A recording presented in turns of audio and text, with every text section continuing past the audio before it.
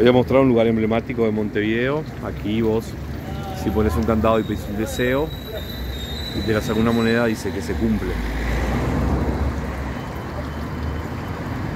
Miren qué linda está Montevideo.